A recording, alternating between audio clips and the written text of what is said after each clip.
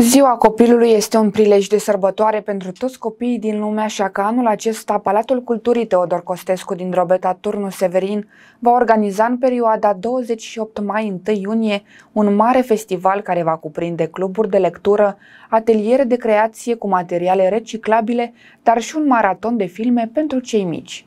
Timp de 5 zile vor fi proiectate peste 25 de filme de scurt și lung metraj, animații sau ficțiune din Suedia, Norvegia, Finlanda, Danemarca, Germania, Olanda și România. De asemenea, nenumărate surprize îi vor încânta pe copiii prezenți. Ne ajungi la prima ediție a Festivalului de Film pentru Copii, Kinosaga, festival care aduce în atenția publicului cel mai important, mie așa îmi place să cred, că cei mici sunt cel mai important public al nostru, indiferent că este film sau teatru, uh, numeroase filme.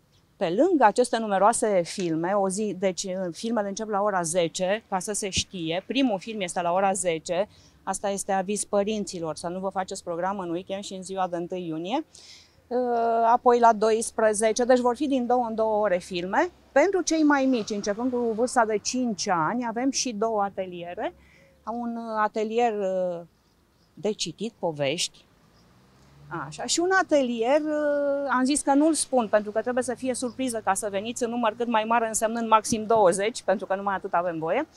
Uh, un atelier de făcut păpuși ceea ce este wow și eu abia aștept să văd cum se creează o păpușe, nu vă spun din ce materiale, dar materiale care, cu care copiii dumneavoastră sunt obișnuiți.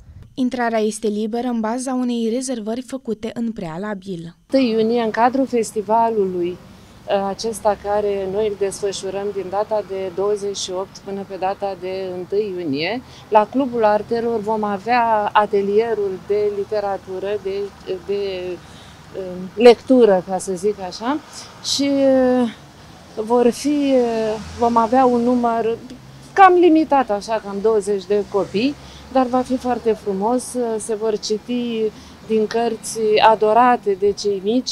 Aceasta este o ediție pilot de prezența copiilor la filmele și atelierele festivalului. Va depinde ediția de anul viitor a festivalului de film Kino Saga. Un alt amănunt foarte important este că acest festival se organizează în doar două orașe din țară, iar Drobeta Turnu Severin este unul dintre ele.